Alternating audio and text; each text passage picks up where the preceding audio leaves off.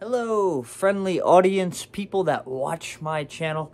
This is going to be like a 25 minute vlog, uh, but it's really not entertaining. It's actually pretty boring. Uh, this is just a slice of life of what my life is like. It's just me and my dad going to the gym and talking and ranting in the car. The audio is pretty bad because I didn't realize when you record in a car, you shouldn't have both windows down on the highway. So, um, I'm not expecting a lot of people to watch this. I'm not expecting the watch time to be good. People are probably going to watch like three minutes and be like, what the, what the, what, what is this? And just click off. But it's a little slice of my life, and I like watching slices of life. Just seeing two people in a car talking, I think that stuff's interesting, but I cannot expect my audience to think it is. Anyways, hope you guys are doing well. Enjoy this vlog.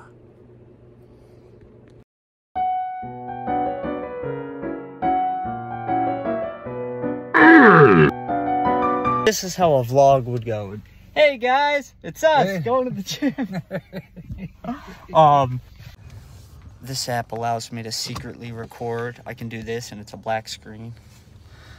I do this thing called fly on the wall recording, where I'll record people without them really knowing. I I do it when I hang out with Matt a lot, Yeah.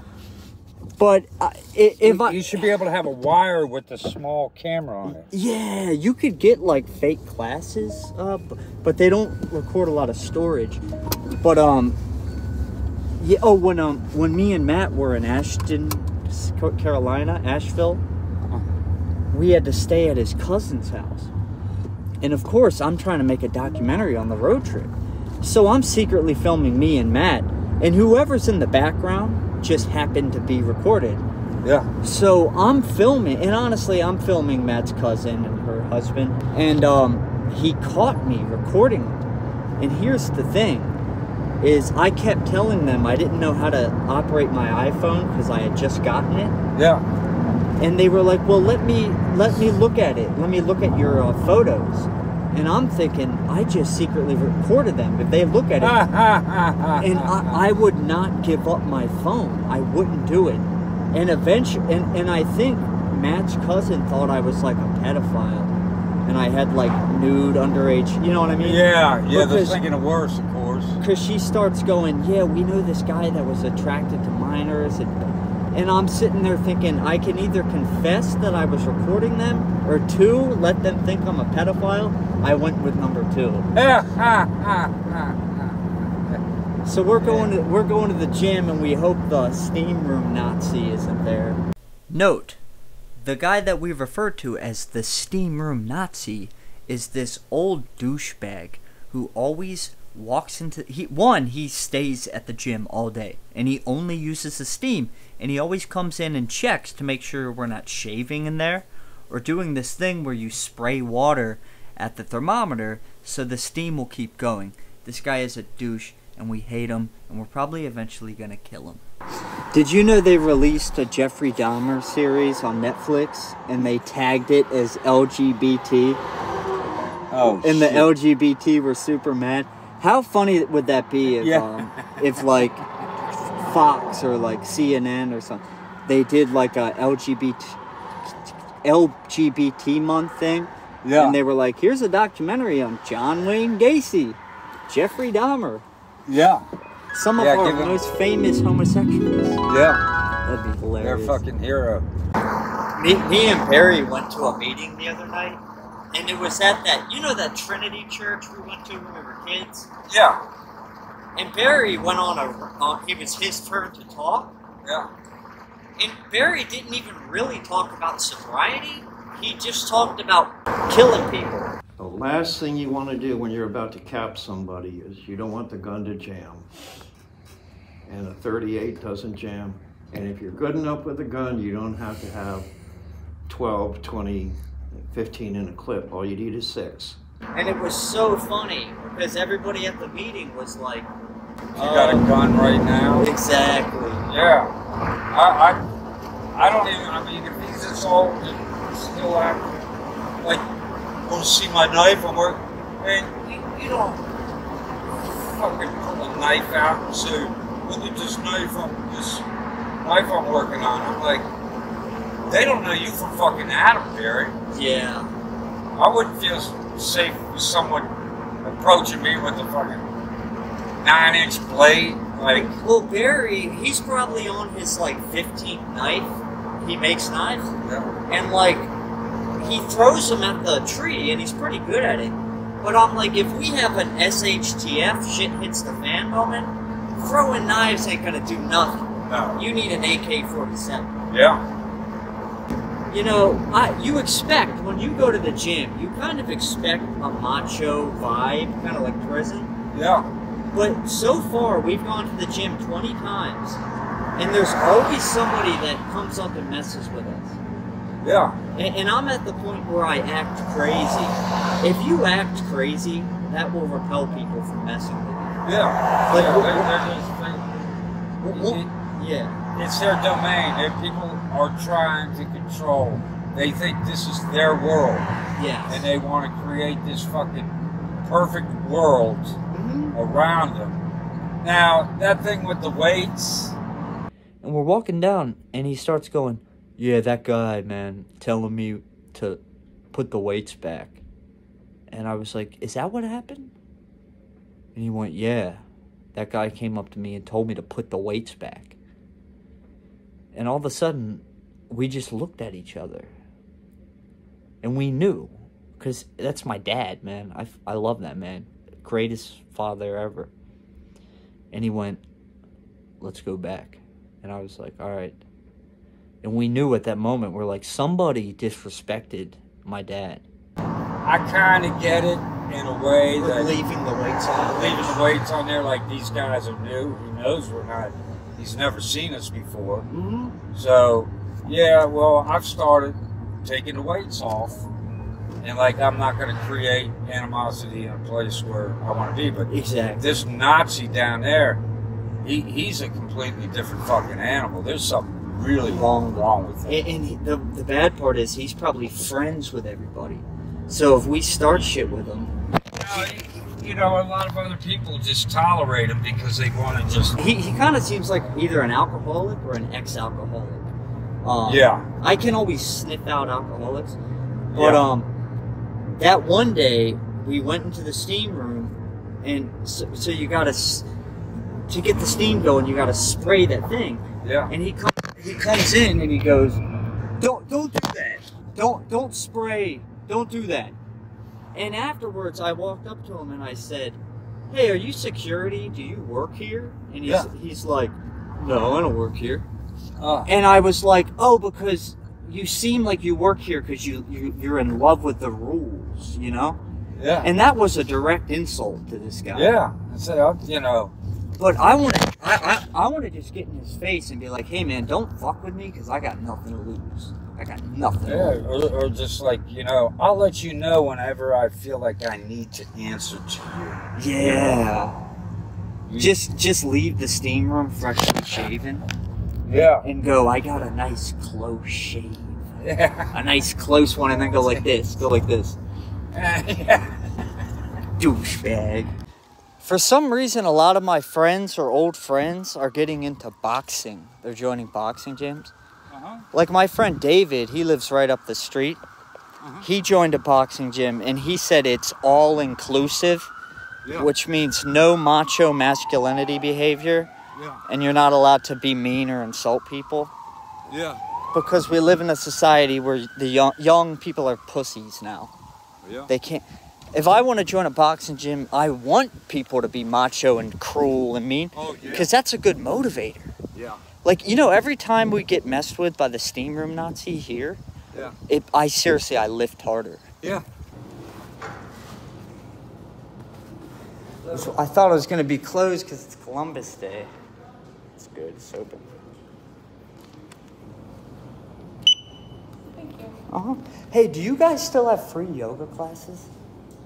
Um, yes. It's not in this building though. Well, two of them are offered here. Uh huh. The gentle yoga is offered at Matelli, but the yoga and the yoga for athletes are offered. What about like aerobics and bike classes? Are those free? Um, yep, they're, yep. But the You ma- have to reserve your spot. The massages cost money, right? Yes. Oh, cool. Okay. Cool. Hello. See, we're s- you and I are so friendly. That's why I don't get why people would want to mess with us. You know, Yeah, what? you and I are so friendly. Yeah. Why would people want to mess with us here?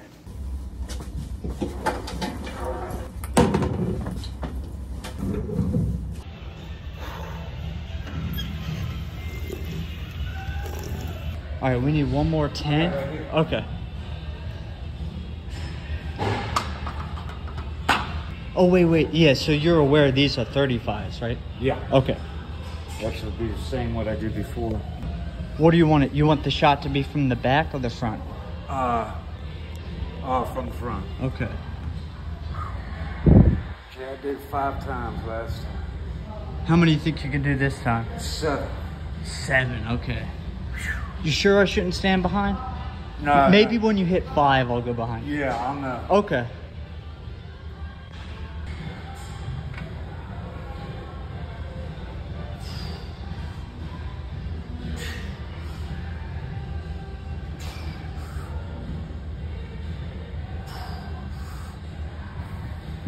Five.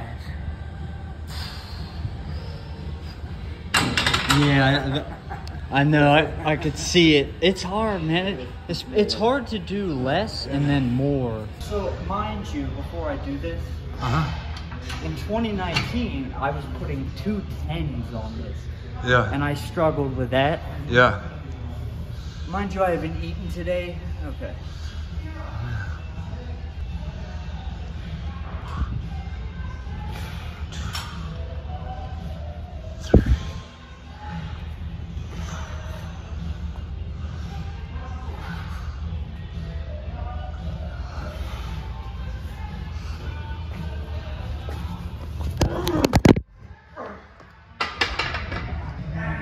Had to place your phone down. I didn't want to drop it.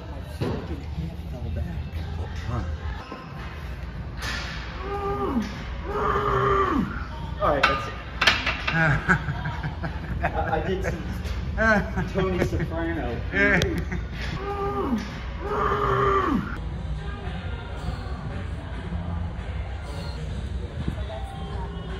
Got it. Oh my god. You know what muscles I'm starting to get? Right here. Right here, see this? Yeah. I think that's from push-ups. Yeah. I think push-ups do that. Yeah. All right, what do you? I'm gonna do. uh I don't know. I don't like. I don't like those. Okay.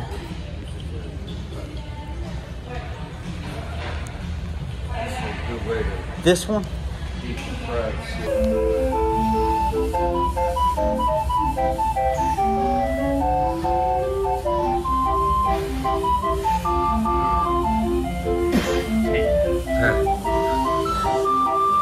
Is that hard? Is that a lot of weight or?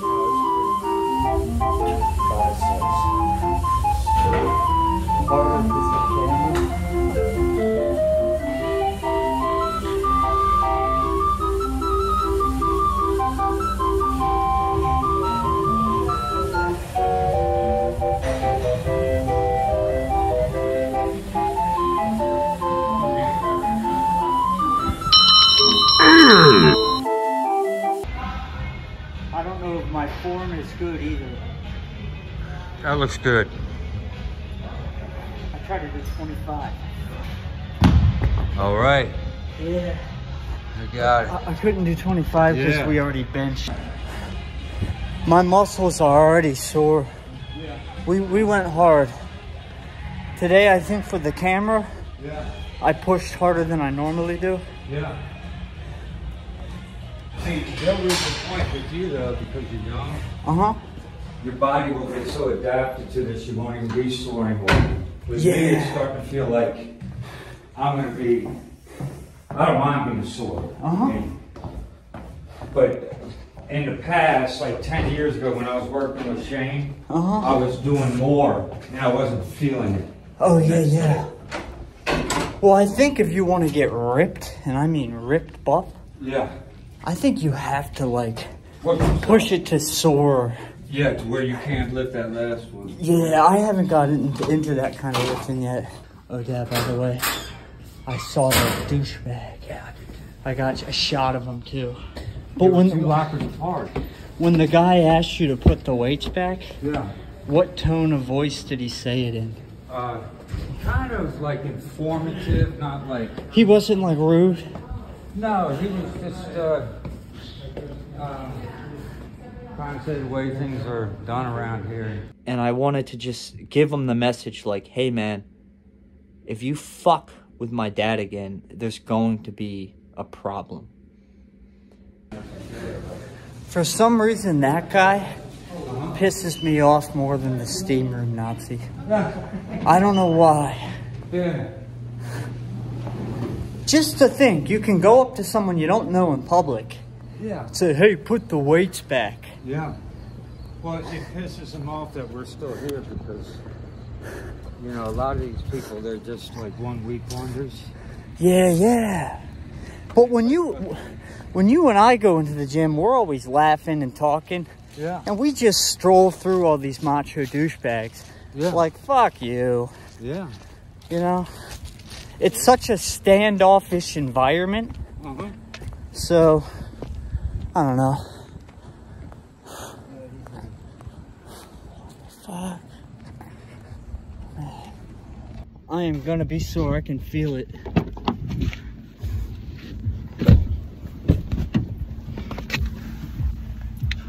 That was a good workout. Yeah, that was. I, I feel sore, man. I don't usually feel like this when we leave. I felt sore coming in here. When's the last time you lifted? Uh, two days. I did like a hundred push. I, I did a hundred push-ups three days ago. Uh-huh. Here's the thing: when I started lifting, I could only do ten push-ups. That's it. Yeah. Then I would do twenty times four or five to get a hundred. Yeah. Now I'm doing thirty push-ups four times. That's 120. That's a lot for me. Yeah. So, Dad, uh, the wood cutting. Is there any way I could do that tomorrow? Yeah. Okay. Because I gotta finish editing this video. I can't wait to post this vlog. It's gonna be so awesome. Because I haven't really made a vlog vlog yet. Turn curiosity into customers. Yeah, and then just start eating more. You know, if you want, you want to show the results. You know, the When I start lifting, I this is what. God, this is what I eat. And waiting for the day it takes over your life. Greek yogurt has a lot of protein. Mm-hmm. Oatmeal, um, Thankfully, cottage cheese. so today Meat, living with steak, ADHD means pushing back the uh, progression of ADP. quinoa, I think. Uh-huh. It's apparently really good to eat lettuce, or no, chicken and broccoli. oh yeah, yeah. Someone commented on my channel earlier and they had a Big Lenny picture as their avatar. Uh huh. I've told you about Big Lenny. Big Lenny is like a big ogre of a man who, who brags about having sex with transvestites. but it, it's, it's funny because he's super MAGA. He's like a Trump supporter. yeah. But he he this is how crazy Big Lenny is. You know how you can go on Facebook Live, Instagram Live? Yeah. He went on Instagram Live, um, which you're not allowed to show nudity or nothing. Yeah. At a whorehouse having sex with a trans prostitute. Yeah. And it he's fully it was the funniest thing I've ever seen. He's like cuz he calls his fan base the maniacs. Yeah. He's like let's let's let the maniacs see this. And then it's him with a prostitute. It is, it is so funny.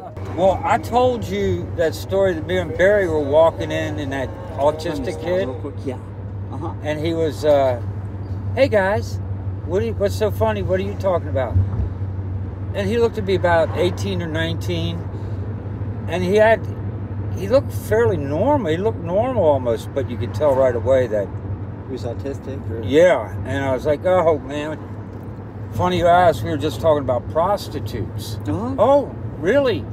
And I was like, well, what we were talking about is that guy John, that Irishman at the door, who I've gotten to know really well. Yeah, really Walmart cool guy, a doorman. Uh-huh. Uh, he's me and him were standing there talking one day, and this girl in a really short cut dress Uh-huh. walked by us, and she kind of smiled, and she was pushing a cart, and I was checking her out, and I was like, she didn't have anything in the car. Uh-huh. I was like, man, that's that's fucking something just. She was crazy? No, I said something called me about that guy. She's a prostitute. Oh. And I was like, I said, funny you say that because something different was there was just something that stood out to me about her that was different because we got him in here all the time. We run him out of here, Whoa. and so, I'm like, well, if you think about it, where does everybody go modern day? To Walmart. Walmart, So they yeah. would fish around at Walmart. oh yeah, You know, I, I've never seen. I've been propositioned at Times Square once. This guy gave me a shitty joint, uh-huh. and I took a hit off of it because I guess he wanted to see if I was a cop. yeah, And he tried, and you know, Times Square is known for prostitutes. It or it used to be. yeah, But sometimes I think the only reason I never been with a pro, it's never presented itself to me, the opportunity, yeah, and I think that's a good thing. yeah. Oh hell yeah, it's death on a cracker. This one girl I used to run around with, uh, I she was really good looking. She was like a 11, and one day she was at a party me and Shannon were at, and she kept getting calls from guys, and I was like, "Be honest with me, are you a prostitute?" And she said, "I'm not a prostitute. I'm an escort." Oh, which is like a more upper class. Yeah, But yeah. this girl, she was so hot that I could see she was probably making bank oh doing, my doing God. Yeah, I, it's it's insane. You know, especially with media going. it. Fuck that guy. Look at look, he has a dent in his car probably because of that. Driving like an asshole. You know has who has road rage is Barry. Yeah, He was telling me the other day. But Barry's like a, a keyboard warrior, tough guy. Yeah. I, I don't think Barry would get into a fight. Or was he a good fighter when he was younger? When he was, yeah, when he was younger. The the medical industry Uh-huh. tries to dampen down, uh, like Yeah, they don't want any natural cures. They they actually need, you know. like I've been reading. Uh, some people take larger than normal doses of vitamin C powder.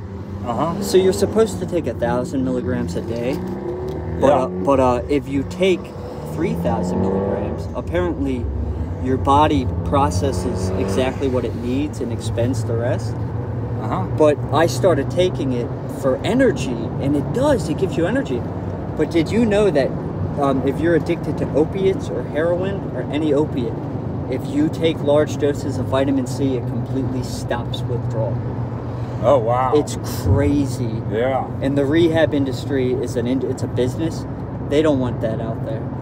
No. And, oh. and I watched enough videos of doctors saying, "Yep, vitamin C powder. That's all you need." With the fentanyl and shit out there now, it's it'd be nothing short of suicide. You know, these people that smoke crack or or do heroin, it's like that's Russian roulette. There- There's no That's that's why Suboxone. Some people don't like it, but it honestly, if you're one of those people that's so addicted to heroin that you can't. For me, heroin is overrated, and I just sort of put it down. Yeah. Um, like there's this YouTuber who was on Suboxone for years, and he made a video saying, "I think I'm done with Suboxone. I'm going to get off of it." Yeah. Two months later, he o- overdosed. Yeah. So for me, I I quit heroin by taking kratom. Now, kratom doesn't um, block opiates like Suboxone and methadone. Yeah. You can't get high off of heroin when you're on those things.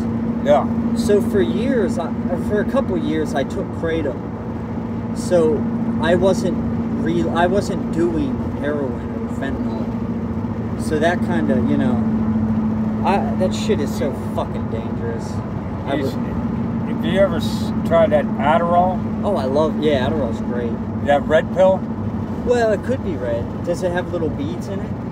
Uh, It's a capsule with little beads. oh, I've seen those things too. Uh, uh, these things are red. Uh, no, I know what you're talking okay. about. What are you talking about? And they're yellow beads or something. Yeah, what are you talking about? This stuff is just like a, uh, a regular pill. It would look like a like a Percocet or something, but it's red. What does it do to you? you? It, it just for withdrawal. It doesn't make you high. Oh, yeah, yeah, that's Suboxone. Is it? Yeah. Um, usually Suboxone comes in strips, but there's also pills, and they're called stop signs because they look like stop signs. Yeah. You might not be talking about Suboxone. I don't know what you. Or Um, Adderall. I don't know what it there's Suboxone and methadone, and uh, those are pretty much the opiate withdrawal pills. Yeah. The best thing you could do for opiate withdrawal is to take some Xanax, as long as you're responsible. Xanax, Ativan, Valium, or Klonopin really, Uh-huh. really help with withdrawal. But once you get on Suboxone, Suboxone just keeps you addicted to opiates, you know? Yeah. And it's re- getting pulled over with Suboxone is serious. They treat that worse than heroin. I don't Wow. know why. I don't know why. Damn, you wouldn't think it would, you know? You had a prescription for it. But, uh, See, here's what's happening with the drug industry. A lot of younger people, specifically Gen Z, they're not really getting addicted to fentanyl and meth anymore. They're doing the online drugs like kratom, uh, is one. Uh, what else? Kratom, phenibut. I guess there's not that many others, but uh, there's I'm there's um people are getting addicted to taking 20 Benadryl, ooh. and ben- yeah. Benadryl is a deliriant, and I, I don't know why people do it because one, when you overdose on Benadryl, Yeah. your body basically starts dying, your kidneys and your That's, organs. that's horrible. And, yeah. and these young kids, they take it and they see spiders. They, Oh my they, God. They see shadow people, and they see. They all report seeing this guy called the Hat. Oh, I've heard, I've seen that. Hat I've Man? seen, yeah.